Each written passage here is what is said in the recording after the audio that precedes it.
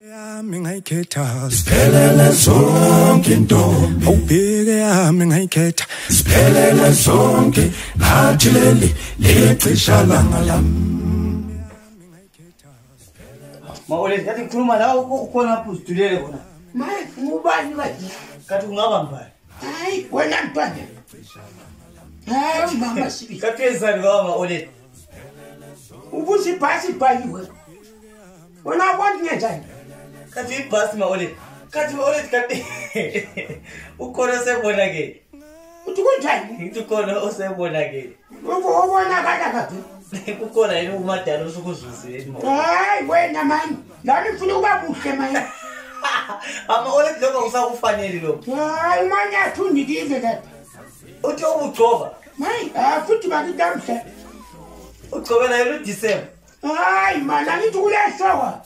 ishoka yamaqaqa o oh, isho yamaqaqa kanti manje ma-olede mfuna ukuhamba kuthiwa yini isho yamaqaqa lalothwa udonsi lwabapostoli osola hayi usukuhamba uuphonzile ma-olede hayi mhlawumbe ukhona ongambona kunjani kuyaphuma kuyavela hayi ma-olede gabuyekelile uzihambele kunjalo kuyavela ngapho kuyakhanya kodwa ma-olede ma uzipika so hayi hayi wena ngapho zihambeli unjalo kusho ayikhona ukuthi ugcobe isibhuda sonje so kunjanikufanele maoleti wathi ungumuntu omdala egcobana lezinto zama-two thousand kati mhlaka mhlaka three three december maoleti awubhangisile maoleti kodwa hayi urayithi uhlala ulungiselele kodwa lokhu ungakugcobi lokhu maoleti njakhamba nginje ukonjwa nyako wena into okumele uyenze kuphela nje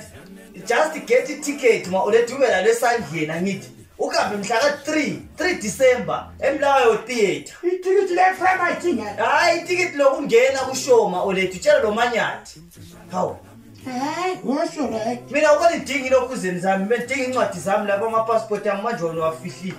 nasufuna ukuya ngaphetha safika hayi kunokunye mfuna ukukulungisa ma oledi hayi ke ngeke uyibone ke uyifihlile kay ngoko nayo ithiwa abanye kanjani sukana kubanga abanye damet hayi maolete ukukhiphe loko ma ukuthi ukhona usumbonile maolete anyeekahayi mani ngibona ngibona kanye ugcobaukilisa khathi manje utshayela uthi ma ngakhokho maolete hayi tona ongazwayo sazibushelezisazikhone sazimhlophe qhuba kodwa ngayikhethe yami ngathileni zongiphekela